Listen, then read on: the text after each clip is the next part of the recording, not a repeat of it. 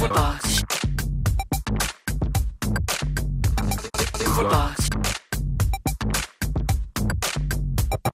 Footbox.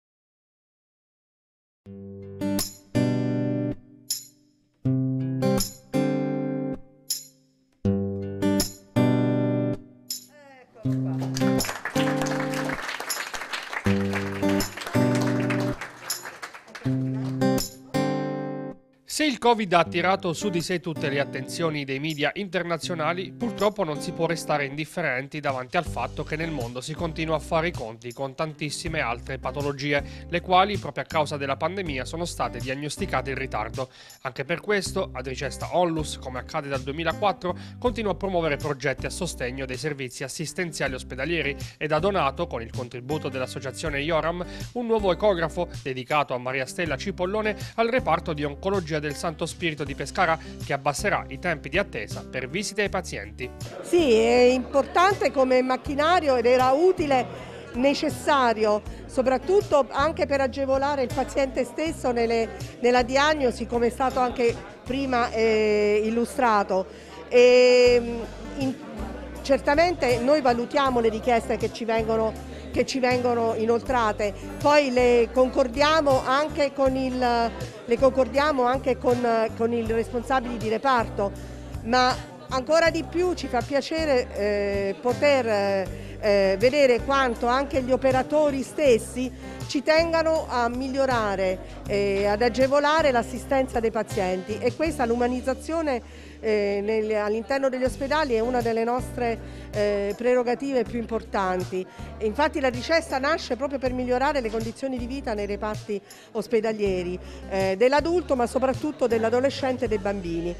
In questo reparto la ricetta ha tanti, eh, tante, ha già realizzato tanti progetti, io voglio ricordare quello bellissimo del The Hospital oncologico con due sale per la chemioterapia di infusione, con una bellissima ambulatorio di accettazione e nonché sale di attesa, decorando tutto il reparto eh, con bellissimi murales eh, creati ad hoc proprio per rendere anche l'attesa dei pazienti, ma anche la eh, durante la cura, un momento, non dico più sereno, ma sicuramente eh, più, più armonioso.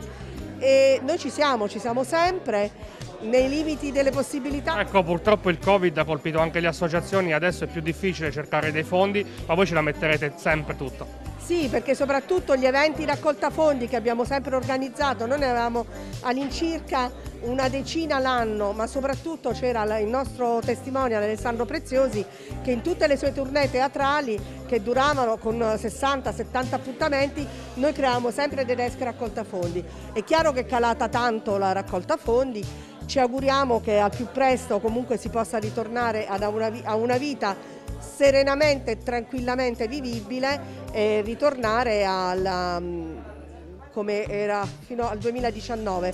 Sembra ri- ritornare al passato, è una cosa assurda quando io mi confronto con un bambino di 5 anni che mi spiega come si utilizza una mascherina e questo è veramente triste.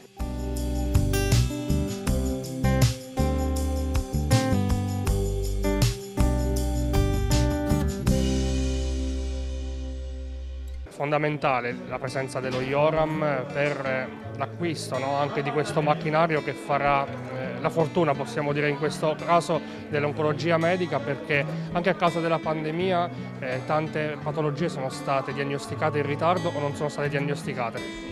Sì, allora tra, tra i tanti dispositivi, ausili che lo IORAM ma anche la Tricesta diciamo, insieme a noi ha, ha contribuito ad acquistare in questi anni, questo in effetti è uno dei dispositivi più utili, più pratici e che serve proprio sia alla quotidianità dei nostri pazienti, ad abbattere i tempi di attesa per il posizionamento di accessi venosi centrali e anche nella diagnosi, nella diagnosi precoce. Questo, questo- questo dispositivo ecografo eh, fa gli ecodoppler, fa gli ecocardiogrammi, fa eh, la diagnostica addominale, quindi sicuramente ce l'abbiamo noi, cioè non dobbiamo chiedere ad altri di fare un'ecografia o di posizionare un accesso venoso, per cui invece di una settimana si fa dopo due ore, qualsiasi cosa.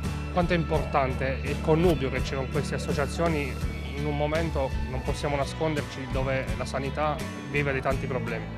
Sì, certo, io poi ho la doppia veste in questo caso di presidente dello IORAM ma anche di medico oncologo di un reparto eh, di, un, di, una certa dimensione, cioè l'aiuto di queste associazioni e soprattutto il trovarsi d'accordo nel, nel, contribuire per il bene di questi pazienti è fondamentale, altrimenti non sempre si riesce ad avere eh, da parte delle istituzioni insomma, eh, tutto quello che, che, di cui si ha bisogno.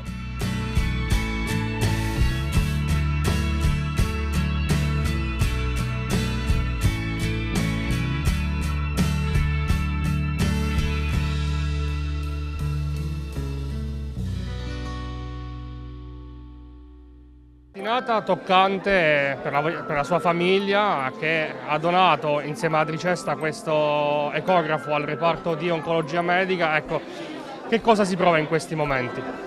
Ah, sicuramente mh, mm, quando Carla da parte di Adricesta mi ha telefonato pochi giorni fa per, per farmi sapere che avrebbero intitolato insomma, una targa a mia madre su questo macchinario, per me è stata una fortissima emozione modo anche di tributarle un, un bellissimo ricordo e che devo dire, per noi che siamo artisti, che siamo abituati a stare sul palco, che ci nutriamo di emozioni, talvolta ci sono emozioni insomma, inaspettate come oggi che sono veramente forti, incontrollabili e per me è un, un grande onore insomma, aver ricevuto questo, questo, questa onorificenza poi ricordo di mia madre, insomma, che era una persona gioviale, normale, mh, mm, con un grande sorriso che si chiamava Stella, insomma, e quindi l'augurio che ho fatto è stato proprio quello, insomma, che col suo nome e con la sua luce illumini l'operato dei medici che sono sicuramente eccellenti, ma che li aiuti, insomma, se può, in qualche maniera. Mamma, sono tanto felice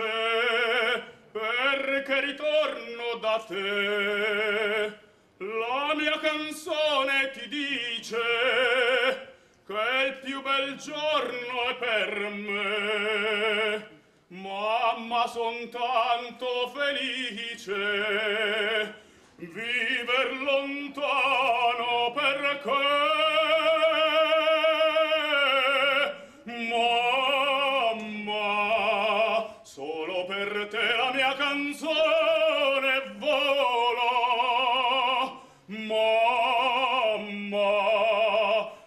farai con me tu non sarai più solo.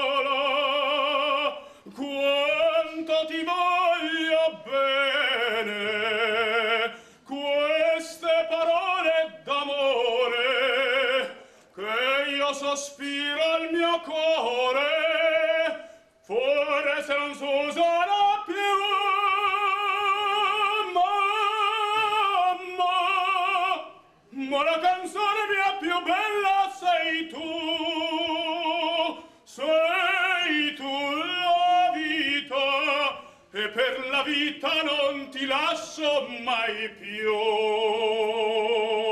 Mamma mai più.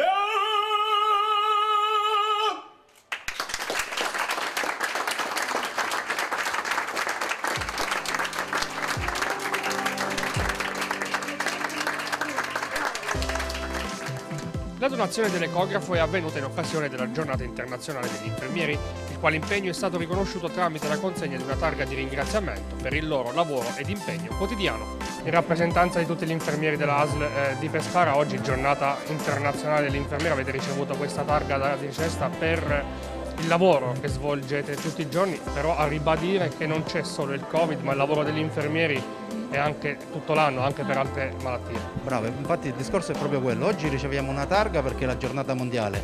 Si fa l'errore che si consegna questa targa e si ricorda che l'infermiere ha lavorato solo per il Covid e questa è una cosa, abbiamo impegnato anni per uscire da una situazione di eh, non presenza. L'infermiere eh, c'è sempre, da lunedì alla domenica, nei festivi, eh, con un'indicazione a quella che è l'assistenza che ci porta a lavorare per il bene della, della, del paziente e come senso d'appartenenza alla, all'azienda per cui lavoriamo. È riduttivo pensare all'infermiere solo per il Covid o per una maxi emergenza, il terremoto dell'Aquila si parla solo delle maxi emergenze. La nostra figura è sempre esistita, sempre ci sarà, in continua evoluzione e abbiamo dimostrato in questa emergenza che siamo riusciti a crescere e ci siamo adeguati a quella che è stata una pandemia mondiale non facendo mai un passo indietro.